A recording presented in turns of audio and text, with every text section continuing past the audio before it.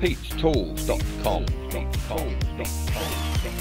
G'day, g'day, g'day guys, how we going today? Pete Pete's Tools to here to annoy you again. Hey, did you see my unboxing video on the new plasma cutter here, the uh, 7th generation Bestarc plasma cutter machine? Now I bought a third generation machine, oh, probably three or four months ago, and now I've just got hold of this baby. From what I can see so far, this machine here is gonna eat this machine here, but this machine here was my best machine that I've reviewed so far. So I'll withhold my judgment and we'll put it through its paces and we'll see what this baby can do. Anyway guys, same as usual, you like my videos, subscribe, drop me a like, drop me a comment, come say good day in the comments below. So if you're looking for a good machine that cost under $300, I think this is about $270, let's see what the baby can do, eh? Right guys, so we're going to assemble this just as she comes out of the box. No tricks to this, just the standard earth lead that we have here so we'll plug them in there. What I like about these machines, guys, is they're really, really simple to, to set up. Also, before I forget, guys, if we just swing this one around, before we get too complicated, you notice here that the uh, water trap and the where your ear goes in, the snap-on connector where your ear goes in, it's all pre-assembled. You don't have to muck around assembling it. So what you do with these machines is you get them straight out of the box, you plug bloody earth lead into it, the torch into it, and start cutting. I love it, I love it, I love it. You can't get better than that. Well, some of the some of the other machines, guys, you have to assemble, and it might take you three quarters of an hour or something. But if you don't know how to assemble them, it could take you a lot longer. So uh, it's just a nice little trick this company seems to do with their machines. I like it.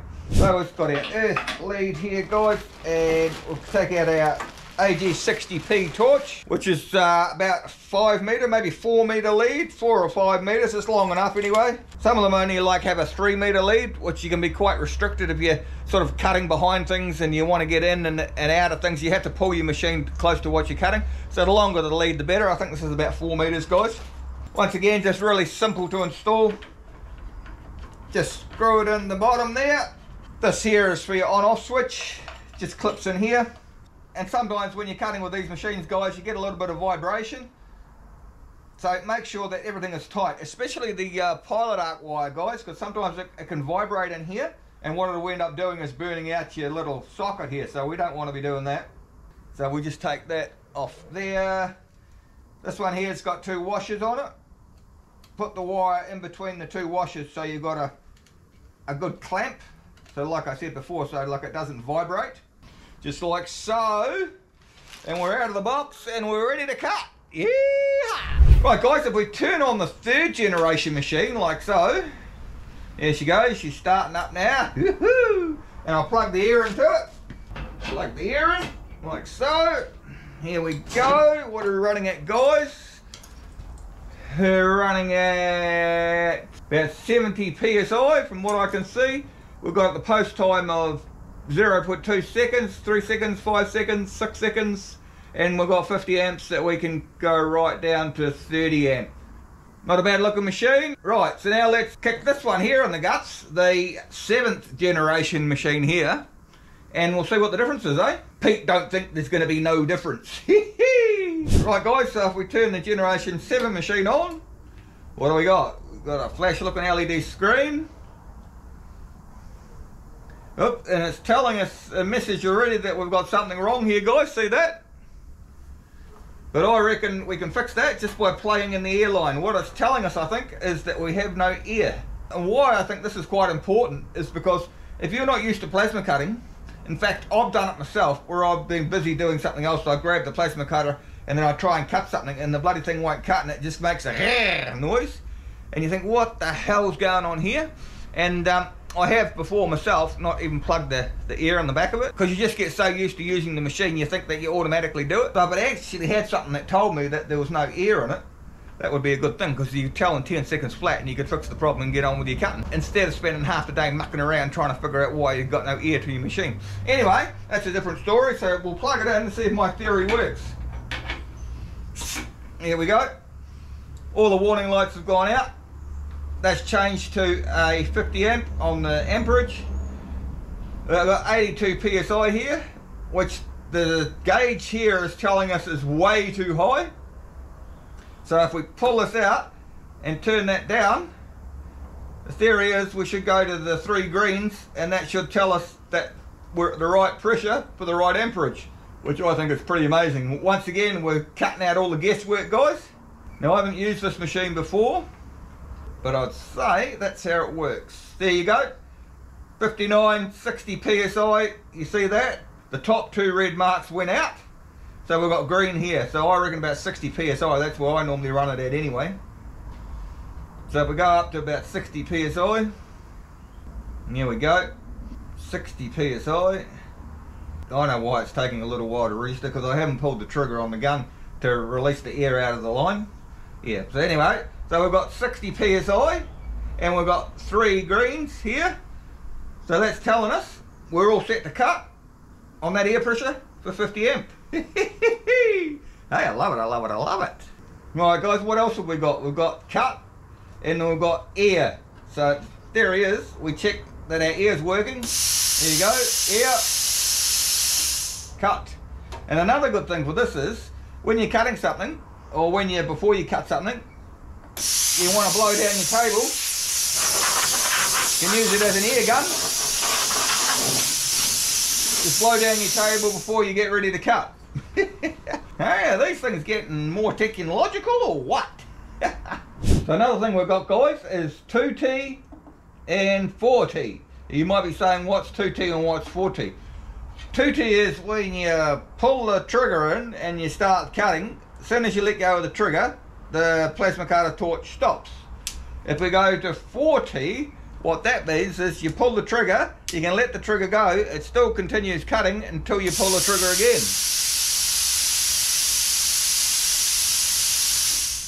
And then it stops. Understand that? You might say, what's the use of that, Pete? But it is, it's quite useful, and I'll show you in a minute why. All right, next, what we've got here, guys, is this one here, which is PT, which is post time.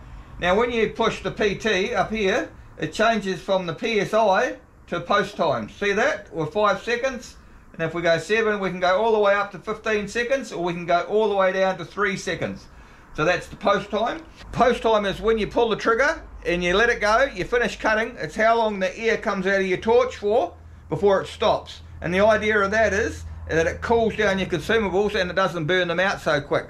So if you're doing really thick steel, cutting really thick steel, you want a longer post time to cool your consumables down. If you're only cutting a really thin sheet metal, like thin metal, you can have a shorter post time because your consumables are not going to get that hot. So at the moment, guys, we've got our post time set at three seconds. There you go, and then the air stops. So if we turn that post time up to 15 seconds, watch what happens. See what I mean? It's a lot longer. It's cooling down the consumables.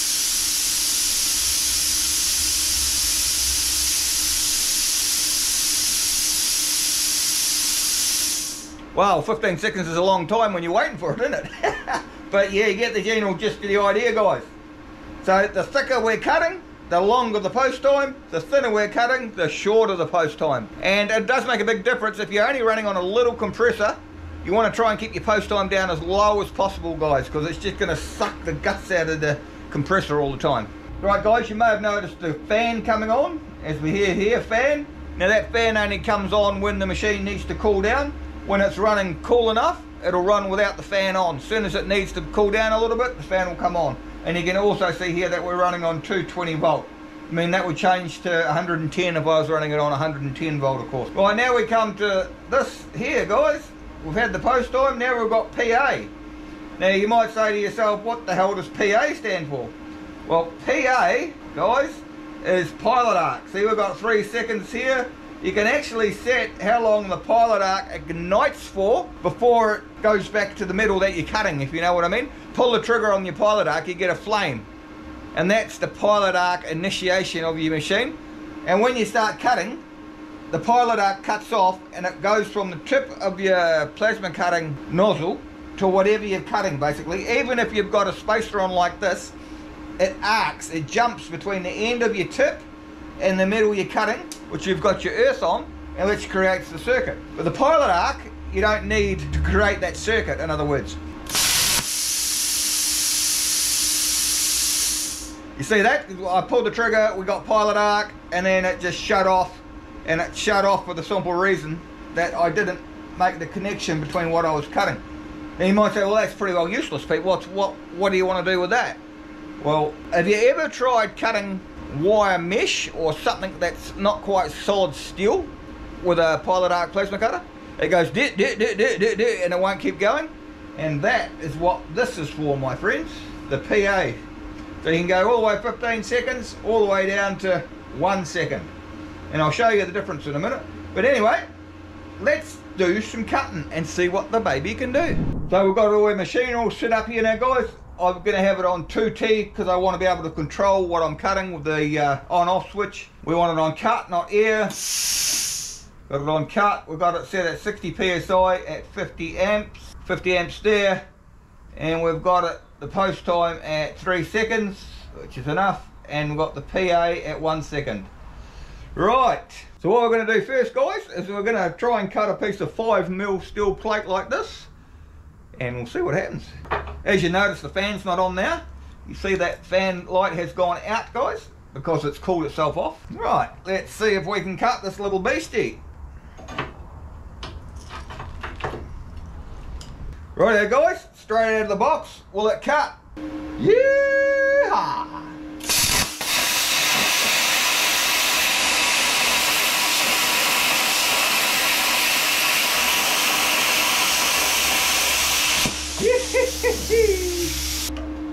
Send a look. What do you reckon, guys? what do you reckon? Looks pretty awesome to Pete. Rightio, guys, that was nothing for this machine, obviously. 5 mil, nothing. Rightio, here we go. Got 11 millimeter steel, solid steel. Will it cut 11 mil? Only one way to find out. Right, let's have a go, guys. Let's have a go.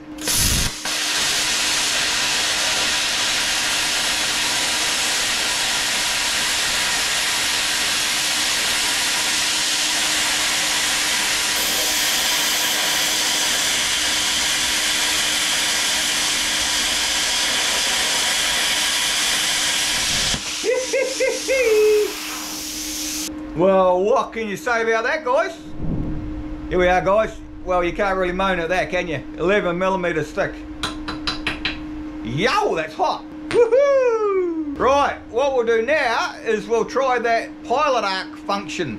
We'll turn the pilot arc up a bit and we'll try and cut some expandable steel. See how that goes. I don't know if you guys are anything like me. Have you ever tried cutting this stuff here? Expandable mesh. It's a pain in the bum. But they reckon this machine makes cutting this stuff a breeze, so let's have a look, eh? Put our earth clamp on there, put our earth clamp on there like so. Also guys, you can see this stuff is as filthy as I don't know what. It's got rust and all sorts of crud on it.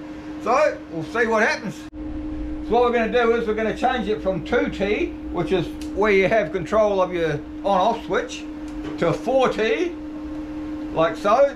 So that means like I said before, when we pull the trigger, we can let it go and it will continue to cut until we pull the trigger again.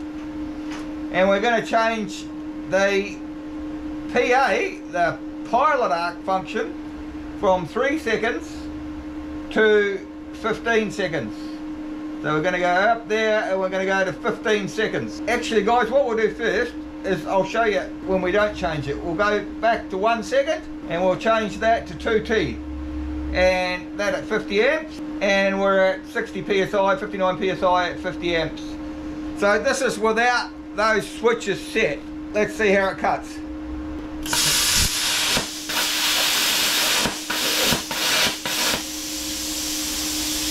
You see we're having real issues here. See it won't start. And then you can get it started. You can't keep it going. That's because the pilot arc is going off when you stop touching the steel. So let's see if this works. So we're going from 2T to 4T, go from pilot arc 1 second to pilot arc 15 seconds at 50 amps. See what happens now.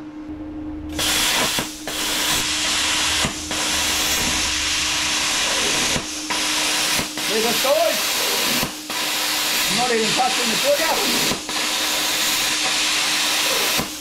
And the pilot arc is just igniting all the time.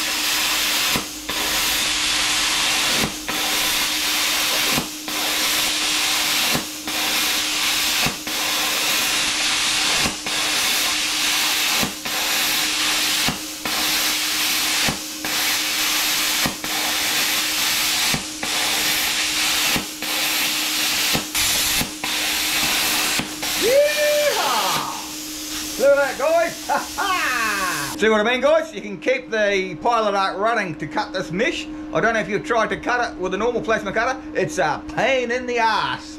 But I like this. I really like it. So guys, I hope you enjoyed that as much as I enjoyed making it. I love these new machines. This is really, really impressive actually. Really good machine. Mind you, I didn't have much doubts after I brought the first Bestarc plasma cutter. Because like I say, that was one of the best ones I'd ever reviewed. This machine certainly does what it says it's supposed to do. I'd have no problem recommending it whatsoever. In fact, this might be my new best favourite machine. And with being able to change how long the pilot arc function actually operates for, that's really awesome if you want to cut rebar or you want to cut expandable steel or something like that. That's pretty awesome. And the 2T and the 4T is awesome as well because sometimes you don't really want to be holding the trigger, especially if you're cutting expandable steel because um, I don't know if you've ever tried it because it's, it's really a pain in the ass. And the LED display I love as well. It's awesome. I mean, for $269, wow. Where's it going to stop, guys? Where's it going to stop? Anyway, guys, if you want to see me doing something a little bit different, I've started a new YouTube channel as well. It's just showing you fellas where I live and all sorts of exciting things you can do in Christchurch, New Zealand.